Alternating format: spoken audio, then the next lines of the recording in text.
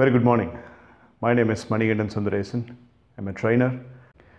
I'm actually speaking about communication skills. Few minutes, not too much of a time.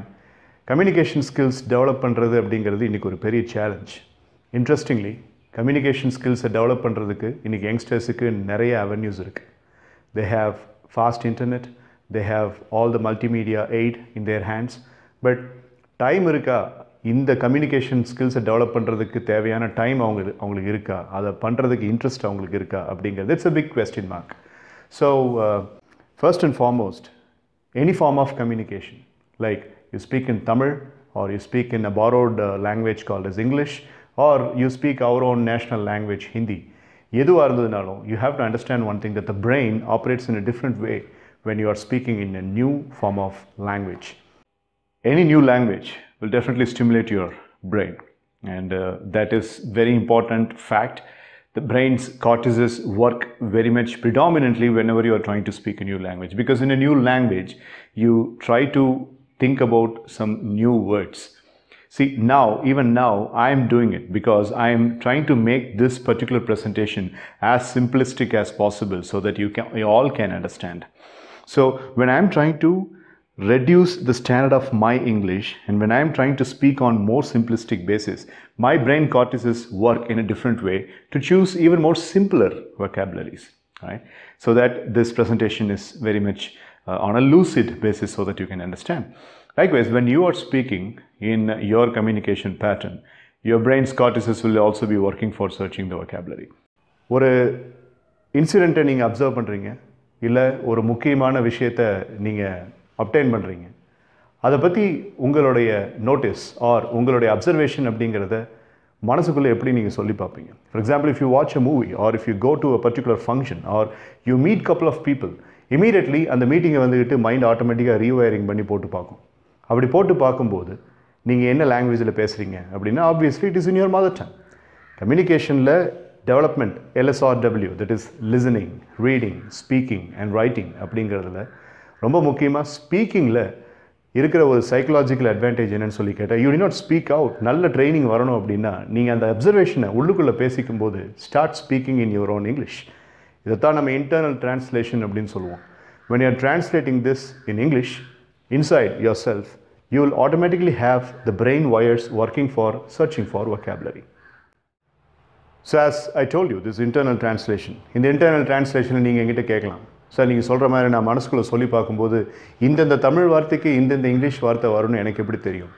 That's where reading comes as a vital function உங்கள் பிரெயினுக்கு ரொம்ப முக்கியமான ஒரு concept என்னன்னு சொல்லி கேட்டிங்கன்னா ஒரு விஷயத்தை பேசும்போது ஏதாவது ஒரு பார்ட் ஆஃப் த பிரெயின்லேருந்து அந்த ஒக்கேபுலரி கரெக்டாக வரணும். அந்த ஒக்கேபுலரி அப்படிங்கிறது வரலை அப்படின்னா நம்ம குடவுனில் வந்துக்கிட்டு இங்கிலீஷ் வார்த்தைகள் இல்லைன்னு அர்த்தம். The best way to accumulate the English words into your mind is reading படிக்கும்போது மட்டும்தான் நம்மளுக்கு அது கிடைக்கும். படிக்கும்போது அப்படின்னு சொல்லும்போது when I say reading mobile ஃபோனில் பிடிஎஃப் ஃபார்மேட்டில் படிக்கிறதெல்லாம் நான் சொல்லலை. டிப்பிக்கலாக ஒரு புக்கை வாங்கி நம்ம படிக்கணும்.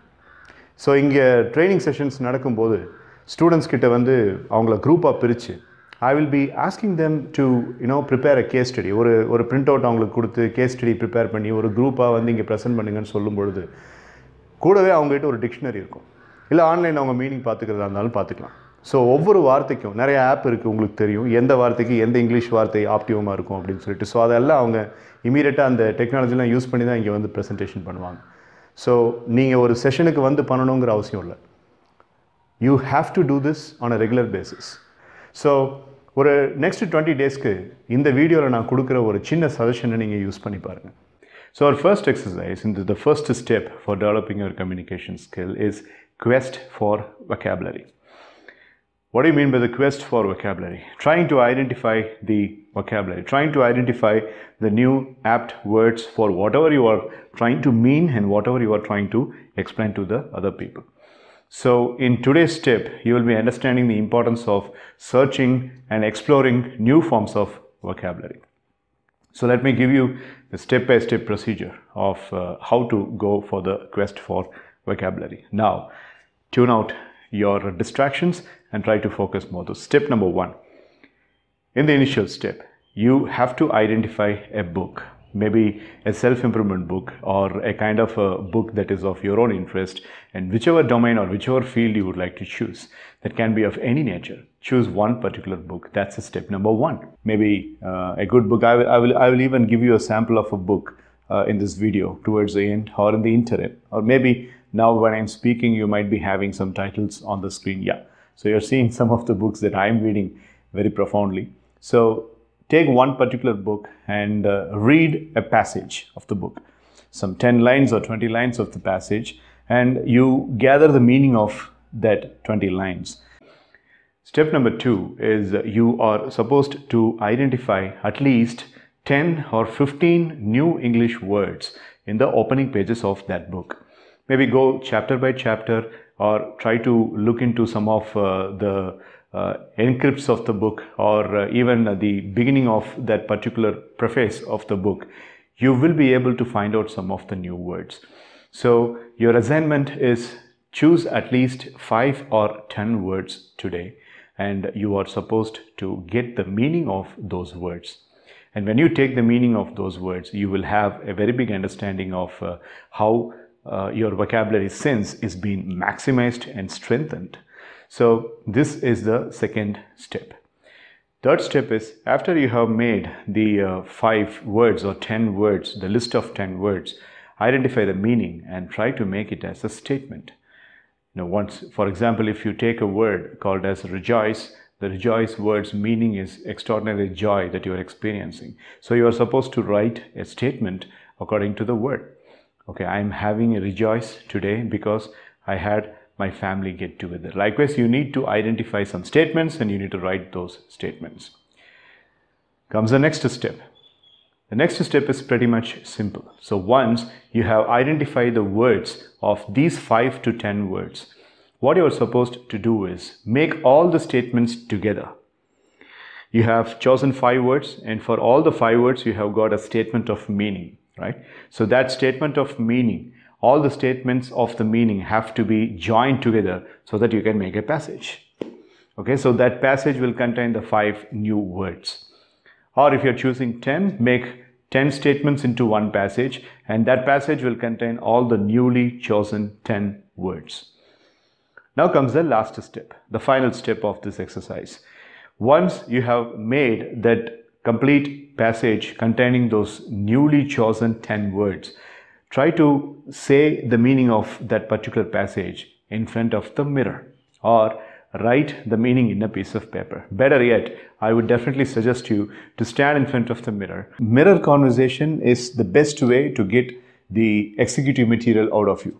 So when you speak in front of the mirror, you will come to know how better you have groomed so far. You will also come to know how better you have really developed your acumen you know, the professional acumen that you have. So what I want you to do is, I want you to have a half-size mirror, uh, a mirror that could cover your upper body alone. So that is going to be a very important resource for you as far as this uh, skill development is concerned.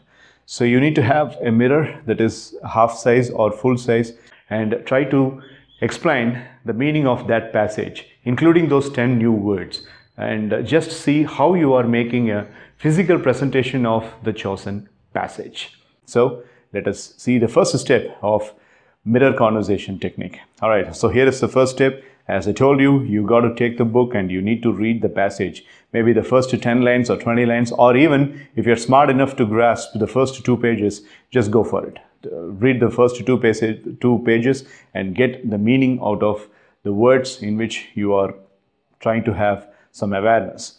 That's the first step. Read on, get the new words and get the meaning. Now comes the second step. I want you to internalize the meaning that you have extracted from the two pages. So just tell yourself or just you know have a, a, translation within yourself. No matter how bad and worse your English is, just go for a translation. All right. So when you are having the translation, you're you're getting eased up. Okay. So it is just like you know using the weights and after that you are relaxing the muscles or you are just pumping the muscles so that your muscle gets more strengthened. Likewise, you read it and then what you're supposed to do is you are just internally internalizing the entire uh, memory of uh, the passage that you have read.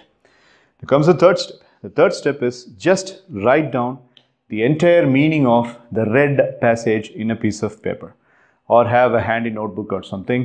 So, exclusively for this purpose, and just write down the entire meaning of this passage that you have read. See, you have to understand the cycle. When you're reading, you get the meaning. When you're internalizing, you're getting affirmed with that meaning. And when you're writing, you convert the meaning into a presentable form. All right. So that's that's the uh, real formula that is working out here. Reading, internalizing, and writing the meaning. Now comes the last step, the final step. So now you can even carry the piece of paper and stand in front of the mirror and just make a presentation of it. Just make the presentation of what you have written in the piece of paper and uh, make it as an executive presentation. No matter how words or how bad your presentation style is going to be, don't worry about that because we are going to do this at least for the next 20 days or 25 days.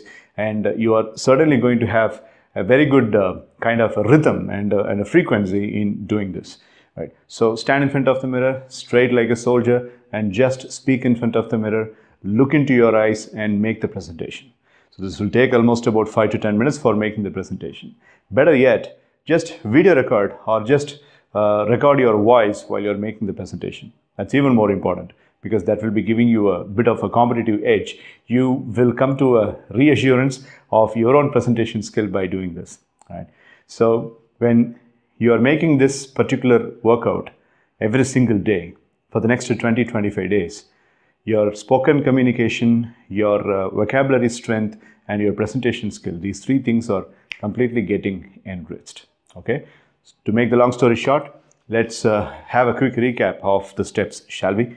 Step number one, read the passage, at least one page or two pages, or for your convenience, maybe 10 or 20 lines. Step number two, internalize the meaning that you have read in your mind. Step number three, take a piece of paper and start writing the meaning of it and make sure that you are writing the meaning without any hesitation. Don't worry, don't shy away, and most importantly, don't hesitate. Right. So, and uh, the last step is after you have written down in the piece of paper, just take the meaning, carry the meaning, go stand in front of the mirror and make a presentation. Record your voice, or if you have uh, your phone, set up a phone and make a video record so that you can assess your own performance. That's very important. Right?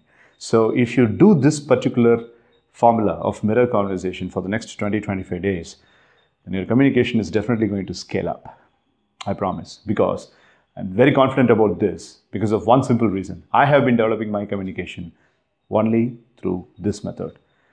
So here, you have been doing this predominant steps. Step number one, you chose a book. Step number two, you identified five or 10 words. I'd be happy if you choose 10 words. Step number three, identify the meaning of all the 10 words the new words. And step number four, make all the statements, the newly created statements into passage, a very big passage. And the last step, step number five, is take the passage, internalize, and go and stand in front of the mirror and try to explain the passage in your own English. So here in this day one exercise, what you are doing is number one, you read. Number two, you identify the words. Number three, you pull out the meaning. And number four, you are making the comprehension. And number five, you are making a very good presentation.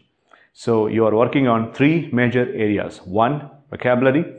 Two, your sentence formation and comprehension. And three, your public speaking ability. One exercise, three major benefits. Highlighted benefit is search and quest for vocabulary. So this is the first step you are going to take for developing your communication skill. So this is one small session I have given about communication skills. அந்த first விக்டரியை எடுத்துட்டு என்னை contact பண்ணுங்கள் ஐ will be giving you the next session thank you for listening